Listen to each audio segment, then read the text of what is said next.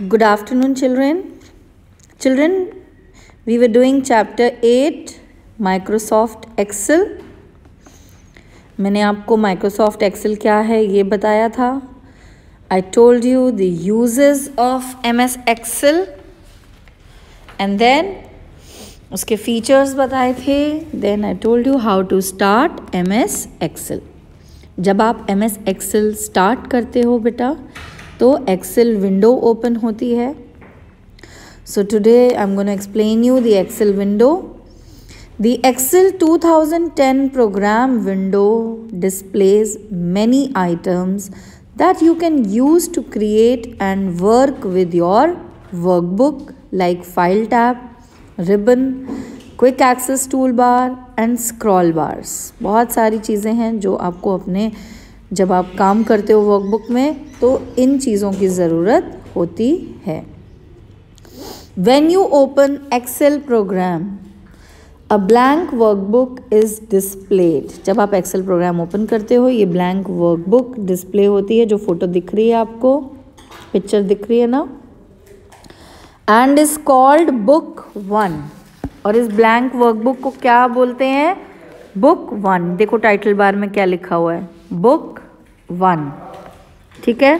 The workbook looks like a note book workbook एक notebook की तरह, यानी कॉपी की तरह से दिखती है। देखो, ये कॉपी जैसे दिख रही है, ऐसे ही बॉक्सेस बने हुए हैं। Components of the Excel window are Excel window के कॉम्पोनेंट्स क्या क्या हैं?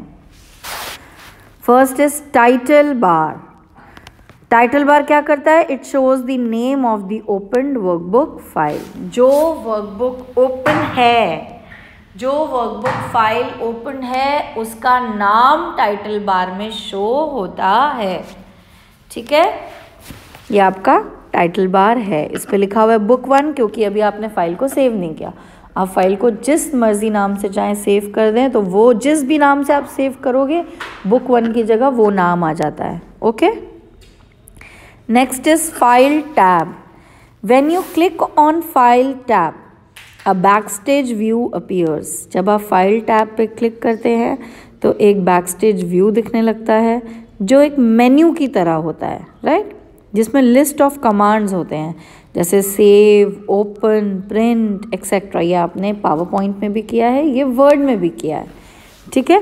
तो ये होता है आपका फ़ाइल टैब सबसे पहला टैब है फ़ाइल टैब जब आप फ़ाइल पे क्लिक करते हो तो फ़ाइल से रिलेटेड जो भी वर्क करने वाले कमांड्स होते हैं, उनकी लिस्ट आ जाती है एक मेन्यू में। उस, कौन से कमांड्स फ़ाइल को आप क्या क्या कर सकते हो? Save new new file open करने के लिए। Then open print save as और भी बहुत सारे कमांड्स होते हैं okay then next is quick access tool bar वो भी आपको दिख रहा है ऊपर। Quick access tool bar file के जस्ट ऊपर, जिसमें फ्लॉपी बनी है। एक लेफ़्ट साइड एरो है। एक राइट साइड एरो बना हुआ है। ठीक है? इसको बोलते हैं quick access tool bar labelling भी की हुई है। Right quick access tool bar क्या करता है? बेटा, इसमें ना एक्सेस की स्पेलिंग जो लेबलिंग करी हुई है आपकी बुक में, इसमें एक्सेस की स्पेलिंग रॉन्ग है। एक्सेस की स्पेलिंग होती है A double C E double S तो यहाँ पे एक एस आप ऐड कर लो।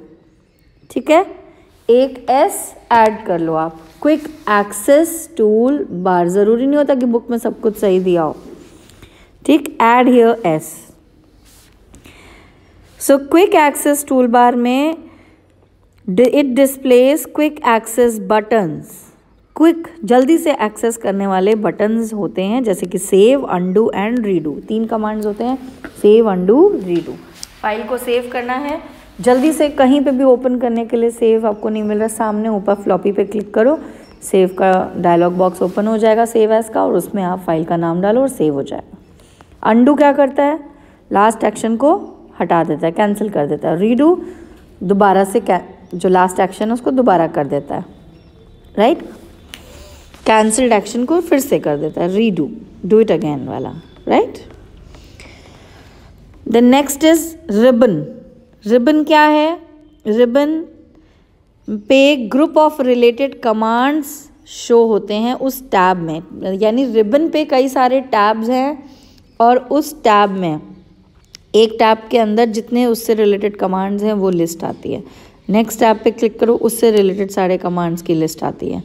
ठीक है? So see this is ribbon ये आपका फ़ाइल ये जहाँ फ़ाइल टैब है, उसके नीचे जो पूरा एरिया है, ये होम टैब पे क्लिक करने पे ये जो ओपन हुआ है दिस इज़ रिबन ठीक है? सो होम पे क्लिक करने पे ये सारे कमांड्स आ जाते हैं, एक ग्रे पैनल पे बन के। इस पैनल को बोलते हैं रिबन ठीक है?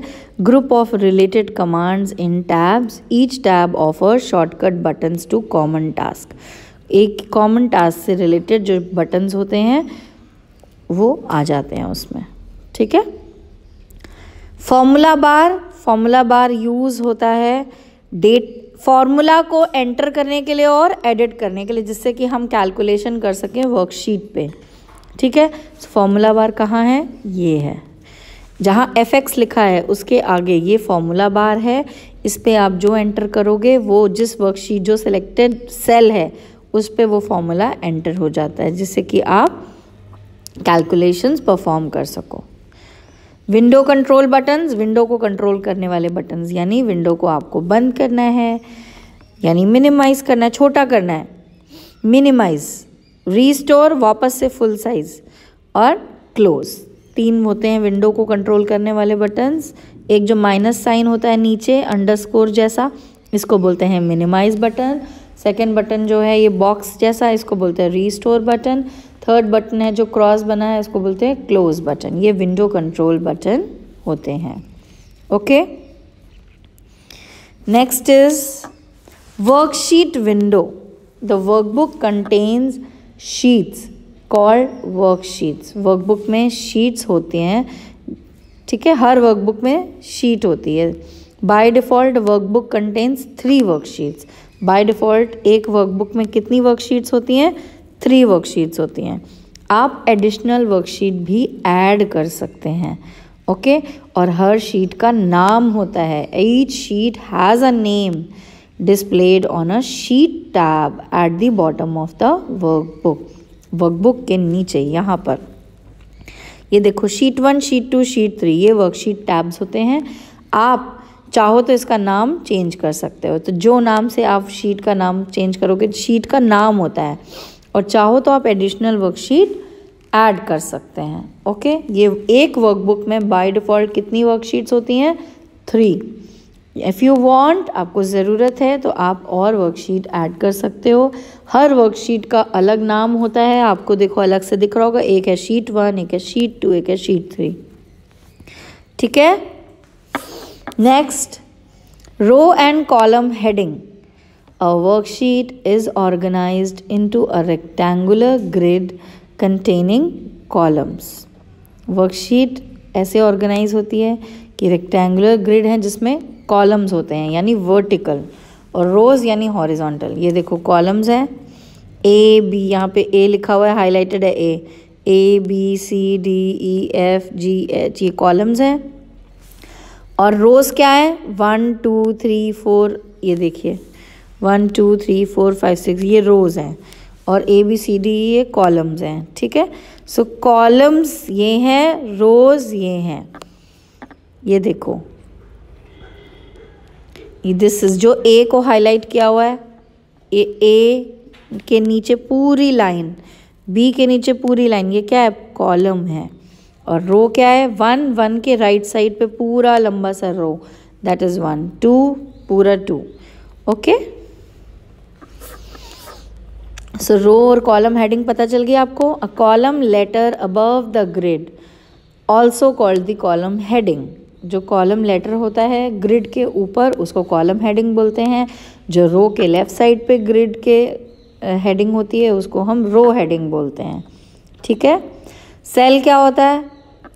वैसे बेटा कॉलम हेडिंग क्या है? ए बी सी मैंने आपको बताया, फिर से बोल रही हूँ। और रो हेडिंग क्या है? वन टू थ्री फोर ये देखो रो हेडिंग आपको शो हो रही है। रो हेडिंग ये सेवेंटीन को इन्होंने किया हुआ है।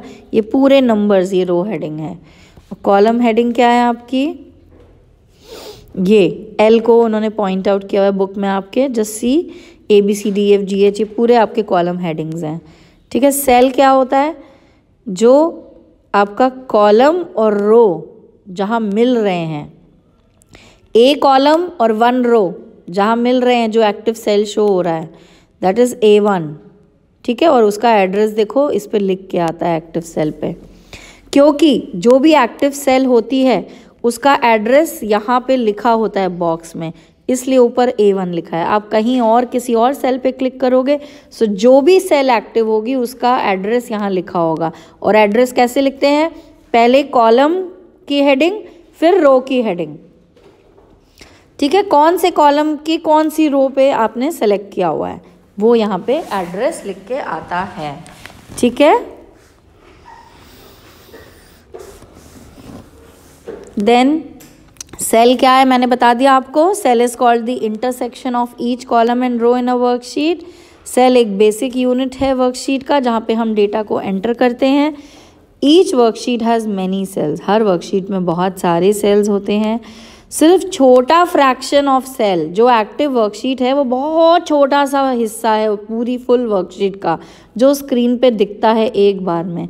क्यों? क्योंकि आपके इतने सारे रोज़ और कॉलम्स हैं। मैंने आपको लास्ट क्लास में बताया था ना, कितने सारे रोज़ और कॉलम्स हैं? याद है किसी को?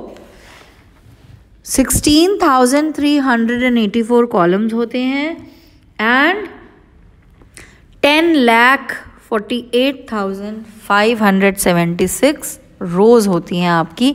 एक वर्कशीट में और ऐसी बाय डिफ़ॉल्ट थ्री वर्कशीट आपके एक वर्कबुक में होती हैं, पर आप चाहो तो और वर्कशीट भी ऐड कर सकते हो।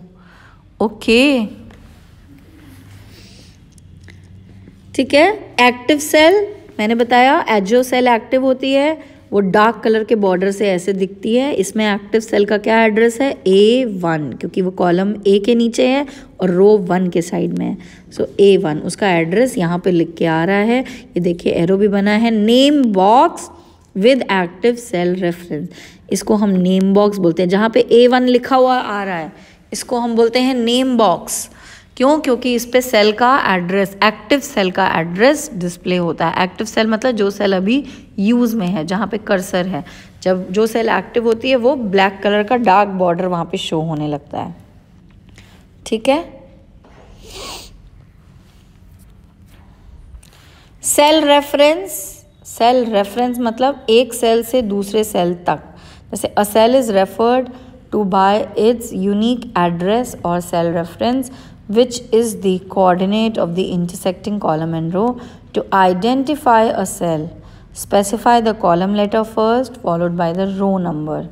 Example cell reference C six अच्छा तो यहाँ पे हम सेल रेफरेंस मतलब जो मैं सेल एड्रेस आपको बता रही हूँ उसको सेल रेफरेंस बोला है ठीक है सेल रेफरेंस मतलब सेल की एड्रेस ठीक, जो इतनी देर से मैं आपको सेल एड्रेस बोल रही थी, देखो यहाँ पे लिखा भी हुआ है यूनिक एड्रेस होता है हर सेल का। उसको यूनिक एड्रेस सेल एड्रेस भी बोलते हैं और सेल रेफरेंस भी बोलते हैं। सो सी कॉलम का सिक्स रो का इंटरसेक्शन जो होगा, वो होगा सी सिक्स ठीक? नेम बॉक्स मैंने आपको पहले ही बताया, दिखाया। जो सेल एक्टिव सेल सेलेक्टेड होती है, उसका नाम नेम बॉक्स में शो हो रहा होता है। नाम शो होने का क्या रूल है? पहले कॉलम का नेम फिर रो का नेम शो होता है। ओके देखो, इसमें है ना ए वन शो हो रहा है। ये नेम बॉक्स है। ग्रिड लाइंस ये जो लाइंस हैं हॉरिजॉन्टल और वर्टिकल लाइंस हैं, जो रोज़ और कॉलम को रिप्रेजेंट करती हैं वर्कशीट में, इनको हम बोलते हैं grid lines Grid lines allows us to see and identify each cell within a worksheet. Grid lines की वजह वजह से ही हम सेल को अलग से देख पाते हैं हमारे लिए कन्वीनियंट होता है सेल एड्रेस फाइंड आउट करना अगर ग्रिड लाइंस ना हो तो it will be very difficult for us to find out grid lines allows us to see and identify each cell within a worksheet the grid lines can be turned off so that they no longer displayed on the worksheet. अगर आप grid line को of करो तो worksheet में वो lines नहीं दिखेंगी।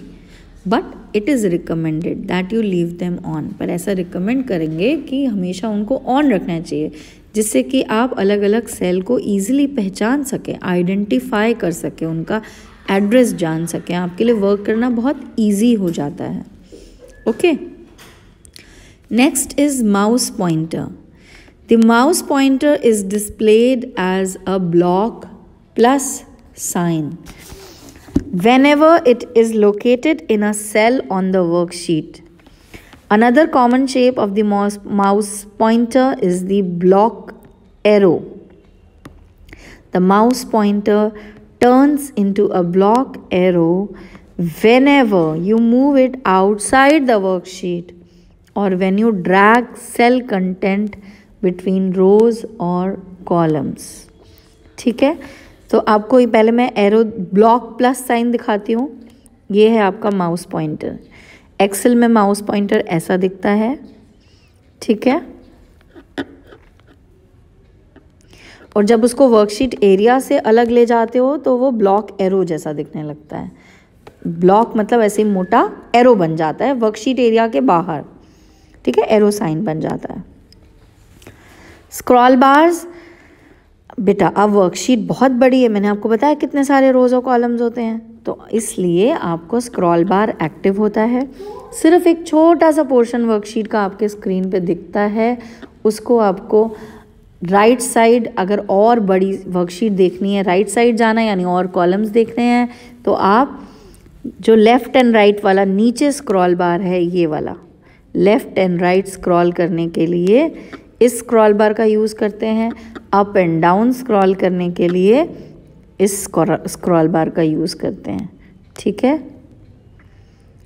Up and down scroll करने के लिए यानी रोज़ देखने के लिए आप ये राइट कॉर्नर वाला स्क्रॉल बार यूज़ करते हैं। लेफ़्ट एंड राइट स्क्रॉल करने के लिए आप बॉटम वाला स्क्रॉल बार यूज़ करते हैं। ये दोनों स्क्रॉल बार्स हैं आपके। Okay? Then split box to the right of the sheet tab at the bottom of the screen is the tab split box. You can drag the tab split box to increase or decrease the view of the sheet tabs. Sheet tabs जो हैं, इनका view change करने के लिए, यहाँ split box को आप drag करो, यानी और इधर करो। तो ये जो, अगर ये इसको स्प्लिट बॉक्स जो है, इसको आप और उधर ड्रैग कर दोगे तो व्यू आपका चेंज हो जाएगा थोड़ा सा शीट का।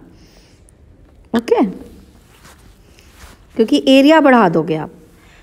To the right of the sheet tab at the bottom of the screen is the tab split box you can drag the tab split box to increase और decrease the view of the sheet tabs तो sheet tab जो है, उसका view छोटा या बड़ा करना है? अगर आप इधर करोगे शीट टैब्स क्या है आपकी? Sheet one sheet two sheet three ये देखो, ये है sheet one sheet two sheet three अगर आप इसको छोटा कर दोगे तो sheet one sheet two sheet three और छोटी दिखने लगेंगी, क्योंकि आप हो सकता है और वर्कशीट्स ऐड करो। और जगह कम हो जाएगी तो वो एकदम छोटी छोटी सी दिखने लगती हैं। Right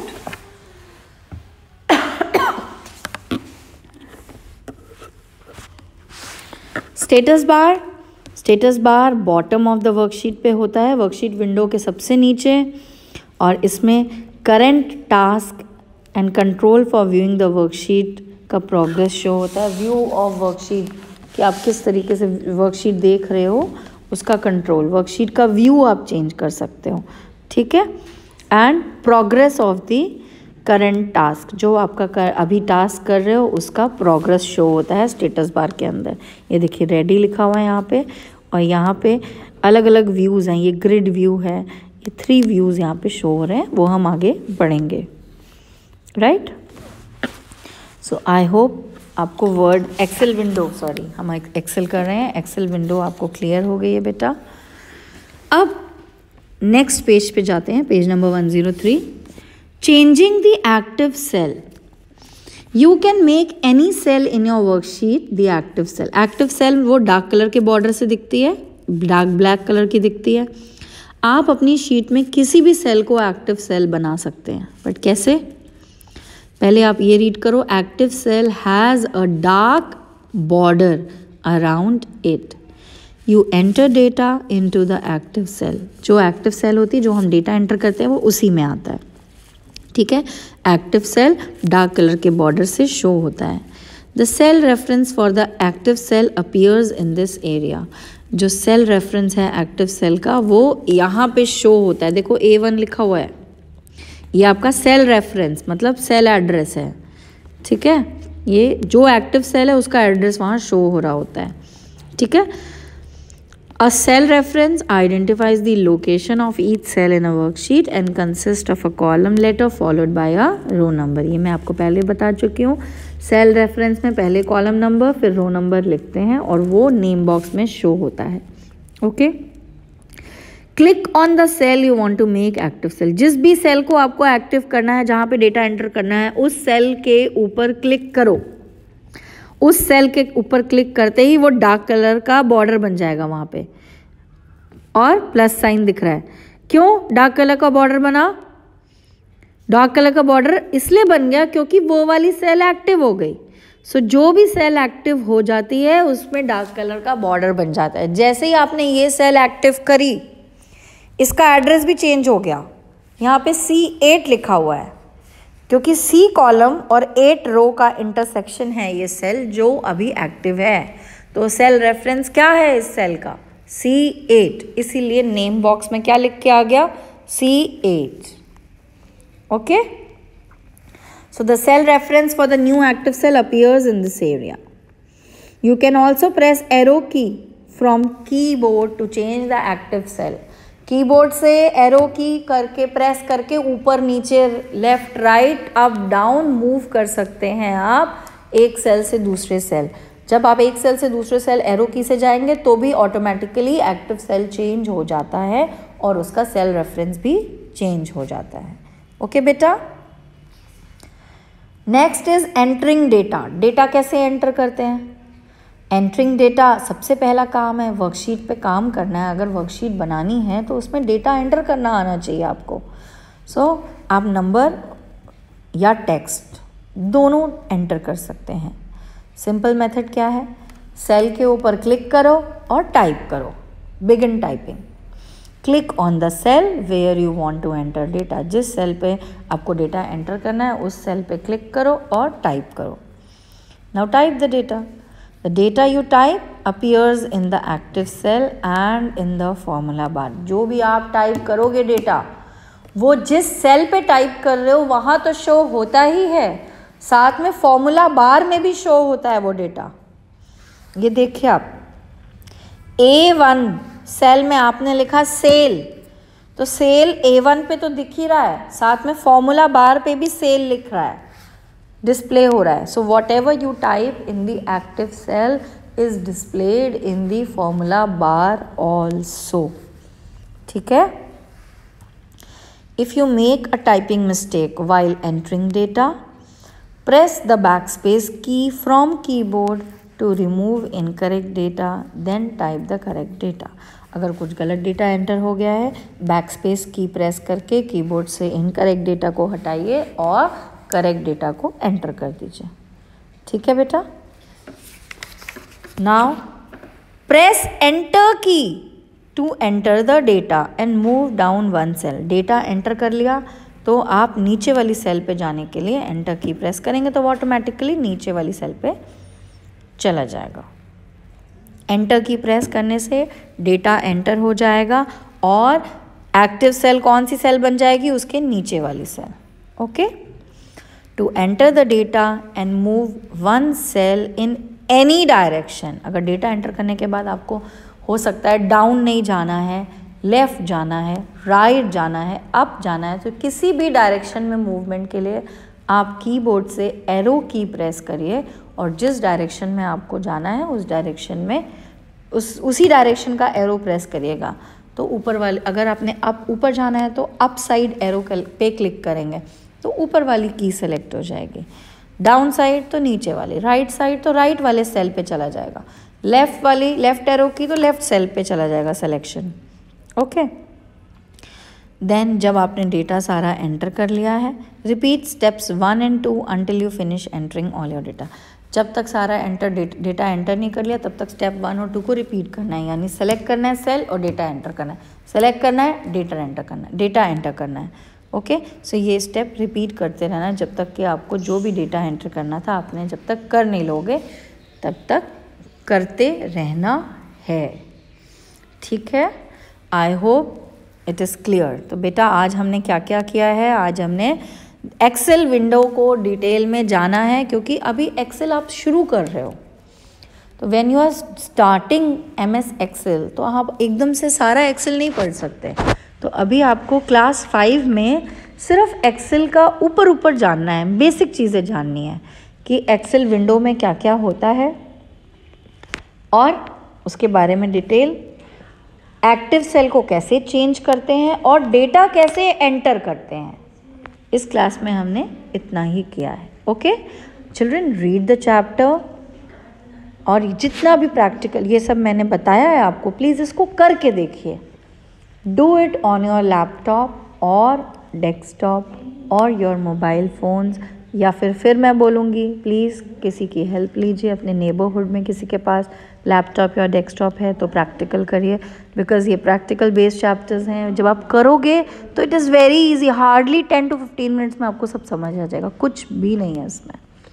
Please do it okay thank you children have a nice day